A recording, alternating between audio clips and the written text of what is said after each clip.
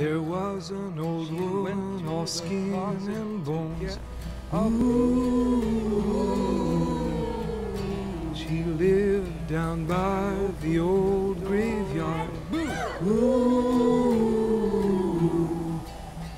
one night.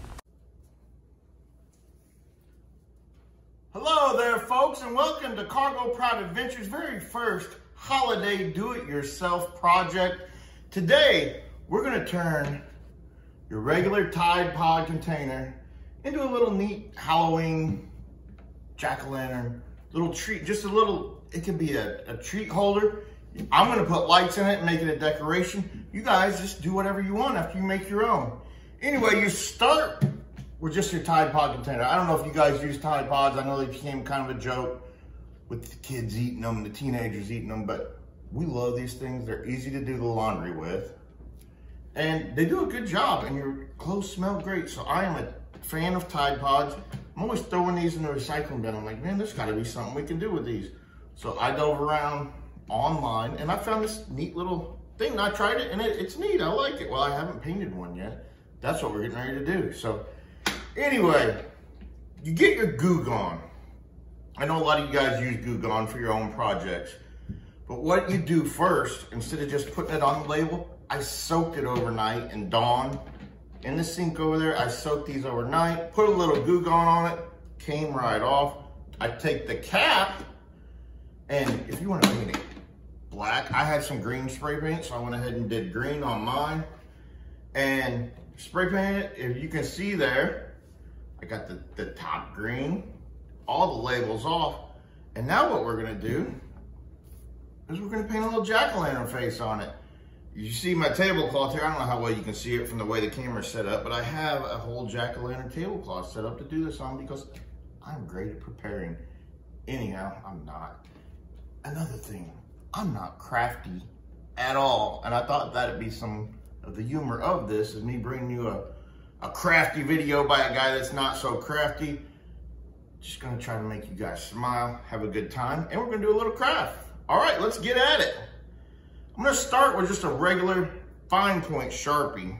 And then I'm gonna move on to the paint pen. I guess I should have told you guys some of the supplies you're gonna need, like a Tide Pod container, obviously, a paint pen, a Sharpie, and then I picked up this little light thing at Walmart for $2.98. Or if you prefer, you can get this dollar one at Dollar General. I mean, it's a cheap, easy, the, the most expensive thing is the Tide Pods, but you can use that for what you want to do it with, so, which is wash clothes.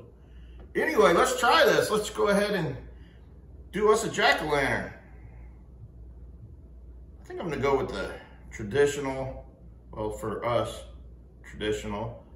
We're gonna just go ahead and do the, the triangle eyes. Let's make a big, just great big triangle eyes. Well, I guess great big. Big. We'll go with big. What, what kind of, let's do a triangle nose too. Let's just go straight, easy.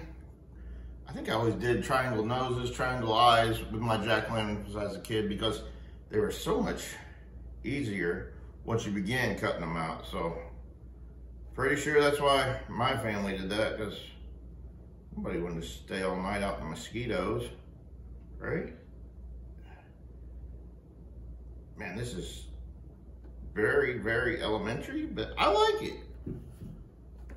So, so far with the Sharpie, I've just got a little face on here. Now, these paint pens, they sell them at Lowe's, Walmart. They're like two or three bucks. They're, they're cheap as well. So, I mean, this is really a cheap project. You just outline it with the Sharpie, and then take your paint pen and really get your marks in that you want to really see done. I'm sure some of you are way more artistic, or most of you, all of you, are more artistic than me. So you guys are gonna come up with some really neat patterns. I'm hoping once you, you make them, you share them with me. So I can check your work out too and, and see what kind of stuff you guys came out with. You know those Tide Pods, they come in different sizes too. This, I mean, you see the two different sizes here. There's a bigger one that's a little oblong, and there's a smaller one than this one even.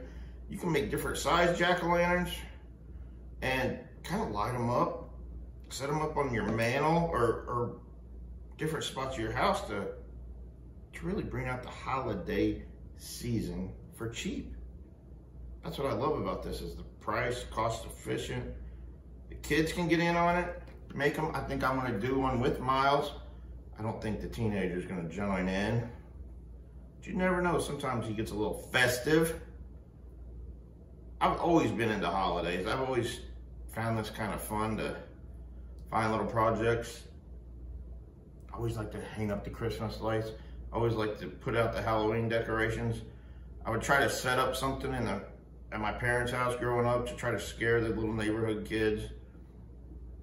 I always tried to come up with something just to get in on the holiday spirit. So here we are. I'm just going to finish painting this up here.